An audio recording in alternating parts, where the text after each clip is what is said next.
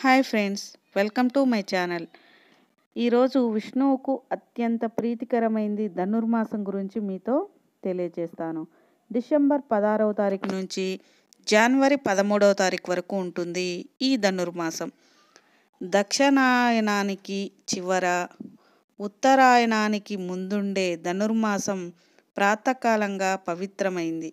ధనుర్మాసం అంటే దివ్య ప్రార్థనకు అనుకూలమైన మాసం అని అర్థము.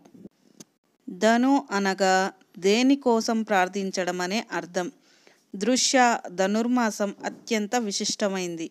ధనుర్మాసం తెలుగు సంస్కృతిలో ఒక భాగం. దేవాలయాలలో జరిగే ఆగమ శాస్త్ర కైంకర్యాలలో స్థానిక ఆచార్య వ్యవహారాలు ఇతర సంప్రదాయాలు కలిసిన అంశాలతో ధనుర్మాసం ఒకటి.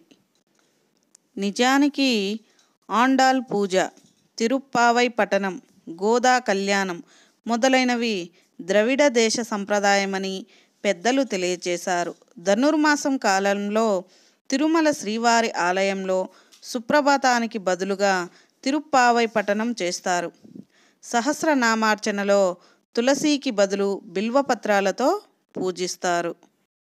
ధనుర్మాసం ఉభయ సంధ్యల్లో ఇంటిని శుభ్రం చేసి దీపారాధన చేయటం వల్ల మహాలక్ష్మి అనుగ్రహం లభిస్తుంది. దరిద్రం తొలగి అష్టైశ్వర్యాలు సిద్ధిస్తాయి. విష్ణు ఆలయాలలో ఉదయం అర్చన తర్వాత ప్రసాదాన్ని నివేదించి వాటిని పిల్లలకు పంచుతారు. దీన్నే బాలభోగం అంటారు.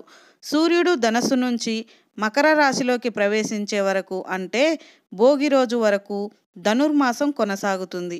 ఈ నెల రోజులు విష్ణు ఆలయాలలో పండుగ వాతావరణం నెలకొంటూ ఉంటుంది.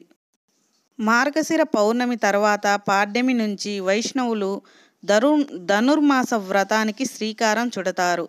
విష్ణుమూర్తికి ఎంతో ప్రీతికరమైన మాసం ధనుర్మాసం. గోదాదేవి మార్గశిర వ్రతం పేరుతో ధనుర్మాసంలో వ్రతాన్ని చేపట్టి నారాయణుణ్ణి కొలిచింది. ధనుస్ సంక్రమణ రోజున నదీ స్నానాలు పూజలు జపాలు చేయడం మంచిది. వైష్ణవ అలాగే సూర్యాలయాలను కూడా సందర్శించడం కూడా చాలా శుభప్రదం అండి ఇక వచ్చేసి ధనుర్మాసం నెల రోజులు బ్రహ్మ ముహూర్తంలో పారాయణం చేసిన వారు దైవానుగ్రహాన్ని పొందుతారని శాస్త్రాలు ఘోషిస్తున్నాయి. సాక్షాత్ భూదేవి అవతారమైన ఆండాల్ రచించిన దివ్య ప్రబంధమే తిరుప్పావై. ద్రవిడ భాషలో తిరు అనగా పవిత్రమై పవిత్రము పావై అనగా వ్రతము అనే అర్థం. వేదాలు ఉపనిషత్తుల సారమే తిరుప్పావయని హిందూ పురాణాల్లో చెప్పడం జరిగింది. ఈ మాసంలో శ్రీ మహావిష్ణువు మధుసూదనుడు పేరుతో పూజించి మొదటి పదిహేను రోజులు చక్కెర పొంగలి లేదా పులగం నైవేద్యంగా సమర్పించాలి. తర్వాత పదిహేను రోజులు దద్దోజనాన్ని నివేదించాలి.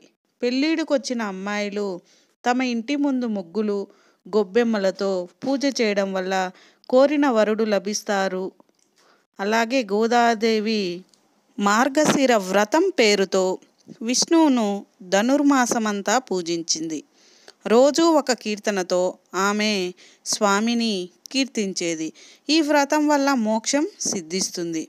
ధనుర్మాసంలో రోజు శ్రీకృష్ణుడికి తులసీమాల సమర్పించేది. స్త్రీలకు నచ్చిన వరుడితో వివాహం జరుగుతుంది.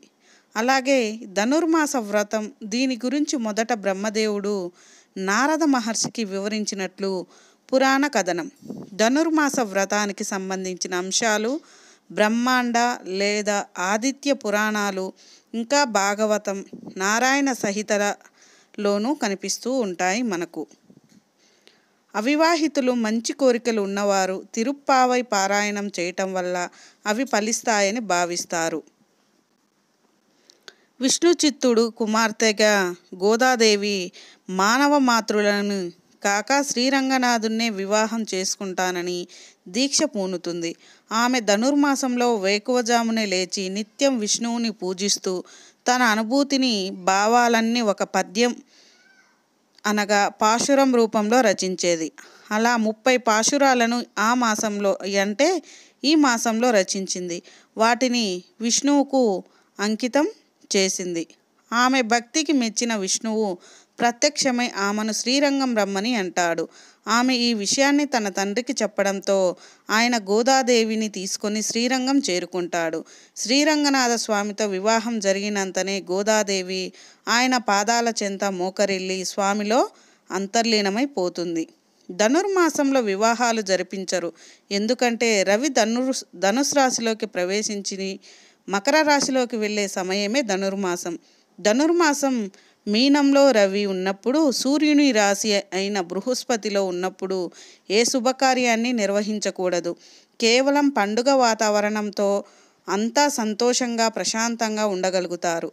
ఈ మాసంలో ఎక్కువగా సూర్య నమస్కారాలు చేస్తారు. ఇంకా విష్ణుమూర్తిని నిత్యం వేకోజామునే పూజిస్తారు.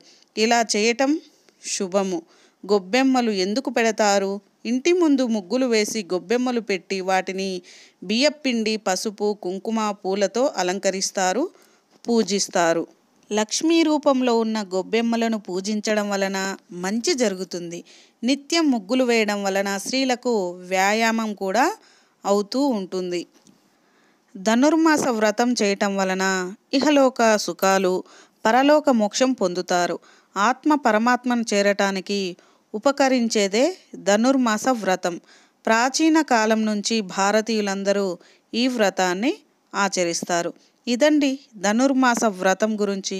నా వీడియో నచ్చితే షేర్ చేయండి లైక్ చేయండి. అలాగే కొత్తగా ఎవరైనా నా ఛానల్ చూస్తుంటే సబ్స్క్రైబ్ చేసుకోండి.